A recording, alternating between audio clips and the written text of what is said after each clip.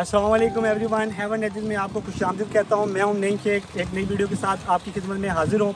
जैसा कि आप लोगों के साथ हमारी कमिटमेंट है, हम अपने कंस्ट्रक्शन प्रोजेक्ट को आपके साथ शेयर करेंगे बेस से लेके एट द एंड तक।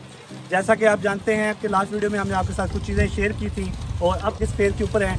वो आपके साथ शेयर करना चाह रहे हैं आज अपने फाउंडेशन के ऊपर प्लिंथ बीम की कास्टिंग ठीक है? तो ये कास्टिंग का मेन पर्पज़ क्या है? बिल्डिंग के ये बिल्डिंग के लिए कितना इम्पैक्ट है, ठीक है इसका? किस तरह से ये इसको बेनिफिट देती है और किस तरह उसकी लाइफ को इंक्रीज़ करती है? इसके बारे में मजीद जानने के लिए मुनीर भाई से हम डिस्कशन करेंगे। मुनीर भाई इसके बारे में थोड़ा हमें गाइड करेंगे।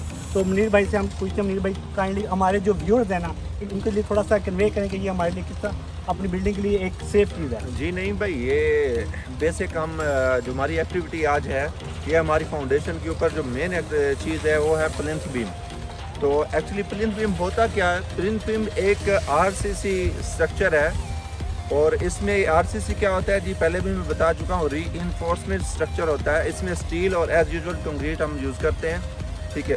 प्लिंथ बीम का मकसद क्या होता है? जी पर्पज़ क्या होता है? प्लिंथ बीम का नहीं भाई एक्चुअली मैं अपने व्यूवर्स को बताना चाहता हूँ कि प्लिंथ बीम बिल्डिंग के लिए बहुत ज़रूरी है ठीक है? इसका पर्पज़ क्या होता है? मकसद क्या होता है? जो प्लिंथ बीम है आपकी पूरी बिल्डिंग का जो वेट है उसका टोटली वेट प्रॉपरली और इक्वली वो डिवाइड करके पूरी फाउंडेशन के ऊपर तकसीम करके डालता है। सही है। मतलब ए, एक रेशो से प्रॉपर हर फाउंडेशन के हर हिस्से पे वो लोड को कन्वर्ट करता है ठीक है?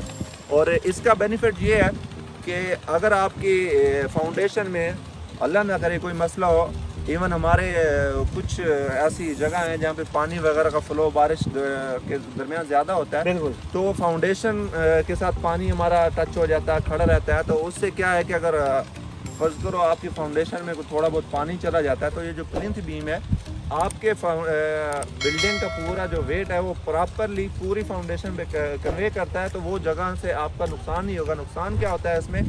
प्लिंथ बीम ना डालने का नुकसान क्या है?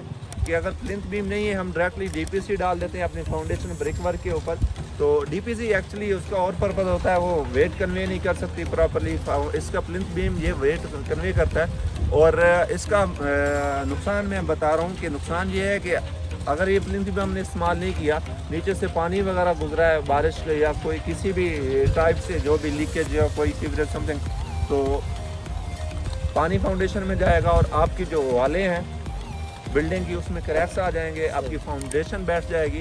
तो एक्चुअली इसका मकसद जो है ना टेक्निकली इसका मकसद यही होता है कि पूरी बिल्डिंग का वेट है, उसको प्रॉपरली तकसीम करके बराबर डिवाइड करता है। तो प्लिंथ बीम मैं अपने व्यूवर्स को बताता चलूँ कि प्लिंथ बीम जहाँ पे आप इतने पैसे लगा लेते हैं तो काइंडली प्लिंथ बीम को आप मत भूलिएगा इससे अवॉइड नहीं करें। ये आपकी बिल्डिंग की लाइफ के लिए एक, जैसे कहते हैं, रीढ़ की हड्डी है। तो प्लिंथ बीम को फाउंडेशन में आप कभी नहीं भूलना। तो नेक्स्ट जो भी स्टेप होगा, हम आपके साथ शेयर करते रहेंगे। तो बाकी इन्फॉर्मेशन आपसे हम डे बाई डे शेयर करेंगे। जैसे जैसे हम इसको रिकॉर्ड करते जा रहे हैं, हम आपके साथ शेयर करते जाएँगे चैनल पे। तो काइंडली हमारी इस वीडियो को लाइक करें ज़्यादा से ज़्यादा और इस वीडियो को ज़्यादा से ज़्यादा शेयर करें और थैंक यू सो मच आपकी, हमारी जो लास्ट वीडियो पे आपकी, उसके ऊपर आपने जो प्यार दिखाया हमें, उसके लिए थैंक यू सो मच और इस चैनल को सब्सक्राइब करना मत भूलें। इन मिलते हैं नेक्स्ट वीडियो में। अल्लाह हाफिज़।